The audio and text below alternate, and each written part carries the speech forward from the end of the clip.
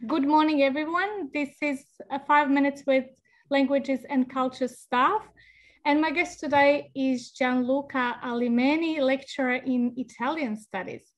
Um, Gianluca, best would be if you tell us about yourself a little bit and what you do. Something very quickly about myself. I came to Australia when I was about 18.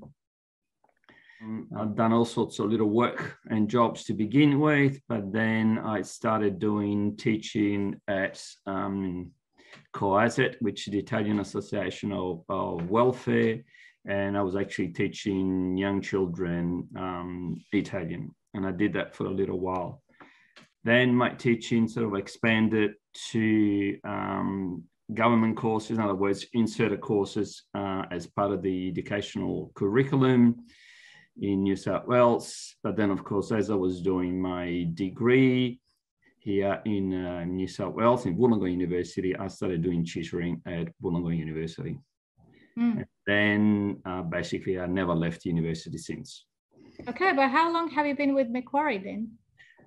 I've been with Macquarie since 2002. So it's almost 20 years that I've been here at Macquarie. Wow.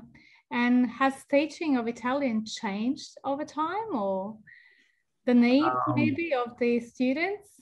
The focus has probably changed slightly, and there's, there is also a slightly different population, shall I say, of students that would have come to Macquarie University compared to the generic student that I was getting at um, Wollongong University. In Wollongong University, students appear to be more focused on learning Italian so they could then teach it at some other stage in the school system. Um, Macquarie University, it's a lot more diverse and there's a lot more people doing for the pleasure or for other reasons for learning Italian.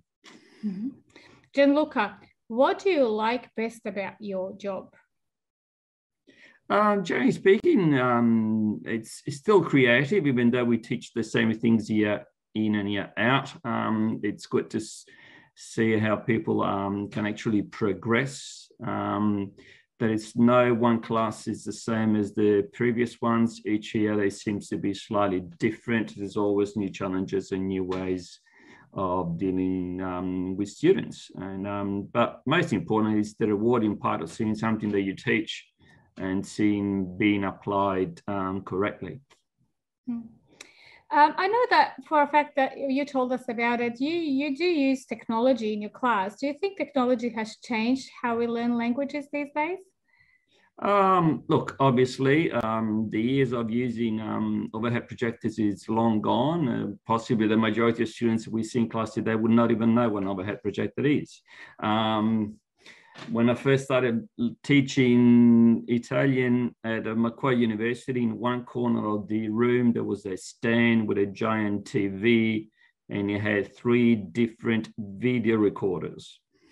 VHS, beta, and U-matic. Um, and that's prehistoric stuff for today's standards. So obviously the technology has has changed um, and also has made our work a little bit more um, difficult sometimes.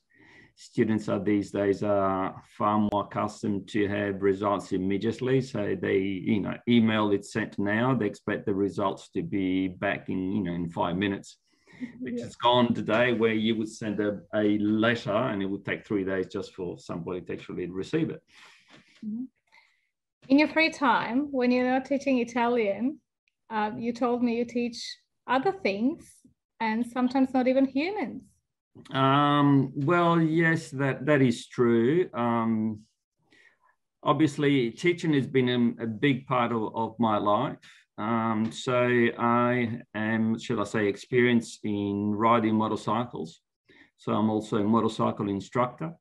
Um, and I spend a few weekends teaching people how to ride motorcycles, both from a beginner's level and it's mostly through the licensing process. So that is one aspect. The other aspect that I've been doing is um, dog training. So not now, but in the past, I've um, I was sort of uh, teaching my dog. I was training my dogs, and I was competing in New South Wales in obedience and agility classes, and therefore I was then a, an instructor with the German Shepherd Dog League. In fact, I was the um, lead instructor for the branch for, for a few years as well. Do you own a dog, dog at the moment? At the moment, yes, I do have two dogs, um, two dogs and a chicken. I got two dogs, and um, I, they're not as well trained as the dog that I used to have. I haven't had the time to spend on them to make them, but they're still much better behaved than the average dog that I see on the on the footpath. Mm. Gianluca, if anyone has seen you around uh, before this video, um, they probably noticed that you always wear bright colors, that you're always well dressed. That's how you are kind of department fashionista. Yeah, thanks for that. Look, it's um, yeah, it's it started as a, as a hobby of mine to to have something um, that will sort of stand out a, a, little bit more. So I started simply by wearing different um, ties every day. So now I have a co- collection of about 150 ties. But um, but on top of that, then sort of things become a little bit more engaging and uh, with different colors. And now it's been it's a bit of my trademark. So if I do wear something which is just brown or grey, then people look at me funny the other way around because they're so used to see me in colorful things. Like, what is wrong with you, Gianluca, right? Uh, yeah, basically, yes. What's wrong with you? Aren't you feeling well today? Um, and yes, I had I had in the past uh, students, but I had in the past even members of staff that were making bets on what color we'll be wearing the next day. I guess it becomes a you know a discussion point in class anyway, rather than just simply grammar and, and language does that have to do a little with, with your Italian genes? I mean, Italians are famous for their sense of um, fashion. Well, yes. Look, you know, I was born in Florence, and Florence is the birth capital of fashion. So Gucci, Pucci, and Fiorucci were all created originally in Florence. Um, obviously, there's many other designers, but you know, that's just to mention a few. My wife is from Rome. So we really don't get away a great deal from not wearing things properly, uh, properly in, in, my in my view anyway, sort of colorful or you know fashionables. Mm. We're coming out of the lockdown hopefully soon. So, what is the one thing that you can't wait to do once we are allowed to do more things than currently? Um, going back on my motorcycles and go riding around with my friends. And um, I've got a little boat, but I still haven't been able to check it out because all I got near me is the Nepean River. So yeah, and lockdown comes out, I'll be on my boat fishing. Gianluca, grazie for this interview. Thank you. No worries.